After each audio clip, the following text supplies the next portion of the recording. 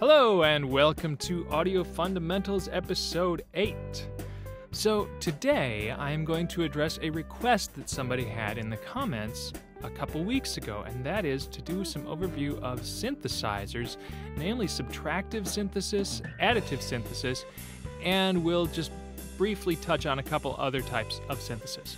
So, the main types of synthesis that you have would be, as I said, subtractive synthesis, additive synthesis, there's FM synthesis, wavetable synthesis, and several other types. To begin with, we're going to look a little bit at subtractive synthesis. So, this is the most common analog or analog style synthesizer technique. And the basic way that it works is you've got something called an oscillator, which creates a complex tone like a, a, uh, square wave or a triangle wave or a sawtooth wave. And then you have various filters that subtract partials from that complex tone. That's the most basic part of it, but then to create more interesting sounds, you've got things called LFOs and envelope generators and several other modulators or things that can change the parameters of the filter and of the amplitude of the beginning complex tone and, and things like that. So let's let's first delve into oscillators. An oscillator is a sound generator, and oscillation, if you recall, that's just a term for something that goes back and forth, like the pendulum that we talked about a while back. Almost all analog synthesizers or digital analog emulating synthesizers have some or all of these waveforms. And I'll play a little sample of each of these. There's the sawtooth wave, the triangle wave, the square wave, and similar but not quite exactly the same, the pulse wave, also called the rectangular wave. And then you've, on some, you've got a sine wave, but that's not too useful for a subtractive synth because that's only one partial and the filter has nothing to work with. Then oftentimes you can add various amounts of noise, such as white noise, to your sound to also pass through the filter. So filters. Filters are really the heart of subtractive synthesis because it's kind of like sculpture. You start with a big block of something and then remove pieces of it to make it look more interesting. Now, since we've already covered the various types of filters, you can look back at the previous video to, to see those, um, this seemed like a good time to introduce the subtractive synthesis. So here's, here's an example of a normal unfiltered sawtooth waveform and then running it through a low-pass filter.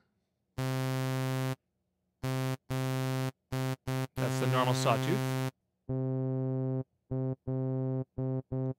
And then there's through a low-pass filter. Now that's somewhat useful in itself, but where you really get into interesting synthesized sounds is in modulation.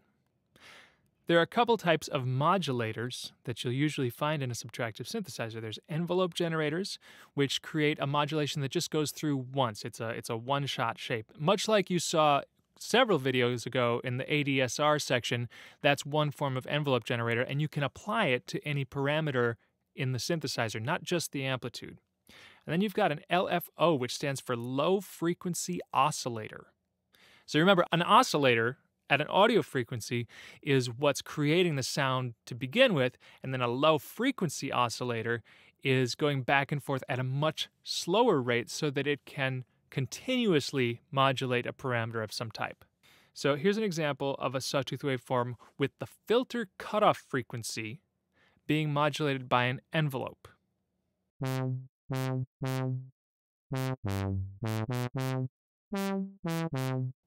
So you can hear over the course of each note, it goes wow, it becomes brighter and then darker because the filter's cutoff frequency is going higher and then lower. It's actually using an ADSR envelope.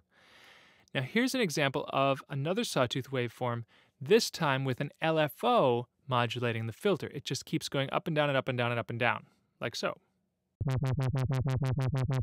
And that's greatly exaggerated. Usually you won't have something modulating that hugely except as a special effect.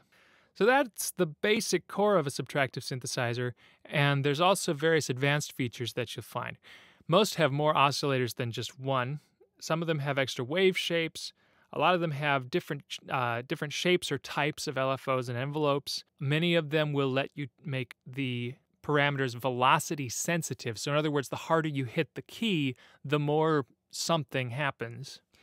And of course, a lot of synthesizers also include parts of other synthesis techniques. You've probably heard of Bob Moog, who invented the first widely used subtractive synthesizer. According to Wikipedia, it was first showcased in 1967 at the Monterey Pop Festival, and you'll hear it on a lot of albums from that era, like as it was coming out from about 68 or so through the 70s. It was featured a little bit on Abbey Road by the Beatles, which was the last album they recorded, even though it wasn't the last that they released. Uh, you'll also hear it on various other albums by The Doors, Simon and Garfunkel, and several others. So that's subtractive synthesis in a nutshell.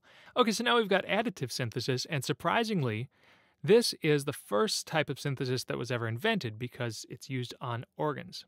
It's fairly simple in that you take a bunch of partials, usually harmonically related, and you add them together. So here are a couple kind of nonsense examples to illustrate the concept, but here's one that is a sound made of all partials that are harmonic to each other. You hear each partial separately, then you'll hear them stack up to combine, and then you'll get a weird sort of optical illusion in sound effect when you hear a dumb little melody played with that full sound. You'll hear they'll all come together.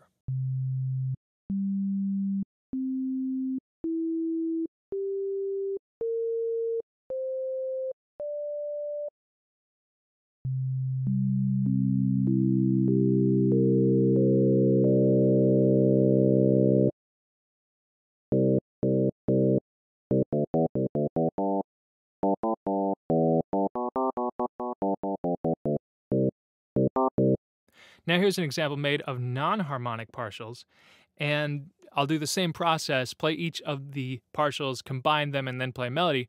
And now to make this sound more appropriate, because it sounds a little bit like a bell, I've used a different amplitude envelope with a fast attack and a quick decay.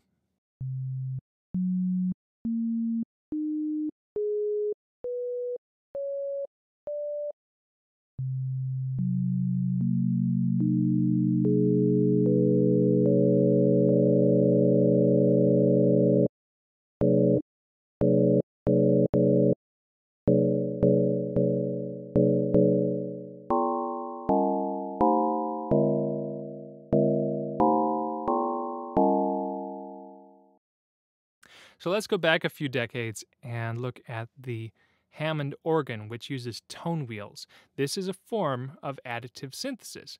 The drawbars that you pull out to increase the level of various partials are the perfect example of additive synthesis. I don't have a Hammond in my studio, but I can show you a digital simulation so you can get an idea for how this works.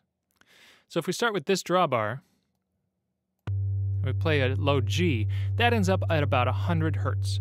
That's a convenient number so that we can see mathematically what's happening with these different partials.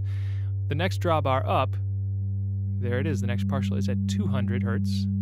Next one is at 300. The next one should be at about 400. Then 500. 600. On this particular drawbar organ, there is no 700, but this one would be 800. So we've got the first partial or fundamental, the second, third, fourth, fifth, sixth, skipping the seventh, and there's the eighth. So there are various other types of synthesis that I'll just briefly mention. Hopefully we get a chance to go through them in a later video.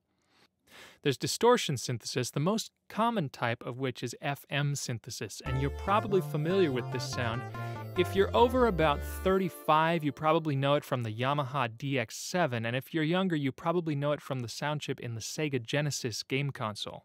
There's also wavetable synthesis, which is where you draw one cycle of a waveform and then the synthesizer uses that shape to create the wave. You've got physical modeling, which is a fairly recent invention because it uses a lot of computer power, where the computer renders, kind of like a 3D rendered picture, what would have happened in the physical world if you had a string or air column or whatever else is vibrating in a particular instrument. You've got granular synthesis, which is kind of fun. It's often used by remixers.